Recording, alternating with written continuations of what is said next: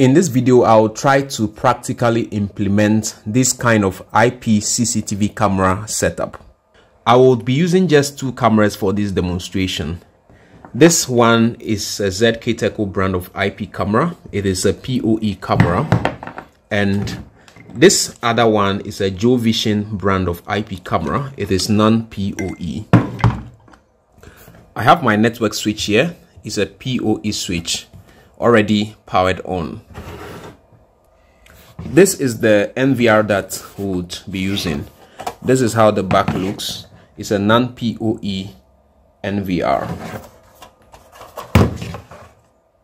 And we'll be using this TV set as the monitor to the setup. I have a couple of network cables, Cat6 network cables that are available through which we'll be establishing the connection between the camera or the cameras and the network switch as well as the network switch to the NVR as well. So the cables are available. So let's start with the connections. The ZK Teco camera is a PoE camera. So in connecting it using the network cable, we can just directly plug into the Ethernet port of the camera and we can plug the other end into the PoE switch direct like this. So that does it for the first camera. For the second camera, instead of connecting a network cable to the Ethernet port direct and plugging the other side into the PoE switch directly, it wouldn't be able to work like that because the camera is a non-PoE IP camera. So what we'll do is that I will introduce a PoE splitter. So the cable I have plugged to the PoE switch would be plugged into the PoE splitter which will then power up the PoE splitter and we'll have the video and then the power separated in order to feed into the camera. So what that means is that now we have power separated so we can plug in the, the video connection and then also the power can be plugged into the camera this way. So it means that we didn't go direct into the PoE switch but we have the cable coming from the PoE switch coming into the PoE splitter. The splitter has provided us with video and power and that is what is going into this second camera. So it means we have linked the two cameras to the network switch.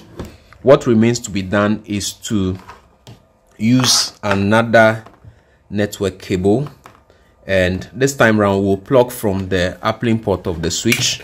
Any of the uplink ports can be used. So we'll plug into the first one and the other end of the cable will then be plugged into the NVR. So here is the back of the NVR that we want to use and we'll use the LAN port on the NVR. So the cable coming from the switch comes into the LAN port of the NVR.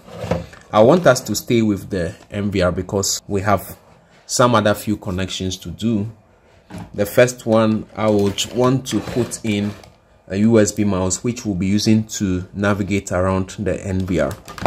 So I'll plug it up to the one of the USB ports on the NVR and then also the display for the NVR which is an HDMI. I will use the HDMI not the VGA. You can use the VGA though but I want to use the HDMI and so I also have here an HDMI connection from the TV screen that we are using currently to monitor this system or the TV monitor we want to use to monitor the system. So the HDMI will also go into the HDMI port of the NVR and from there we can plug in the power into the NVR as well. So let me look for the power and plug into the the NVR. Here is a DC power connection which I plugged to a power socket. I'll plug it up also into the NVR. And then the beep tells you that power has come into the NVR. So I'll put it up you can see the the front of the NVR it's loading up as well so let's pan to the screen as well so this is what the monitoring screen is showing currently. And what you see on the screen is the interface of the NVR so wait patiently for the NVR to load up then we can take it up from there.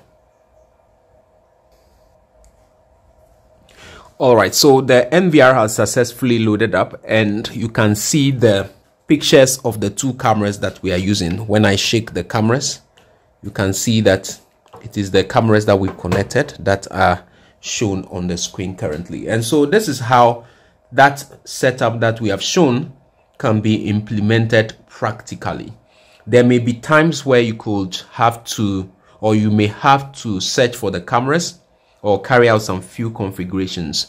But basically, this is the setup. Depending on the NVR you are using, you may have to carry out settings that will enable you to view the cameras as I also have. Thank you so much for watching. If you find value in this video, please ensure you subscribe to the channel. Thank you so much for watching. See you in the next video. Bye-bye.